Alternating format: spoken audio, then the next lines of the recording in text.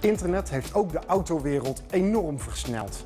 Dus heeft u na lang zoeken op internet uw favoriete occasion gevonden? Wees er dan snel bij, want weg is echt weg.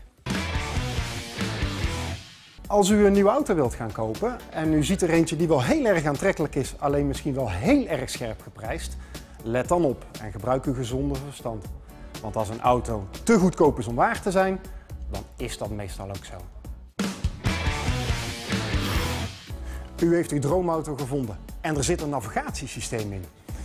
Is het een origineel of een achteraf ingebouwd systeem?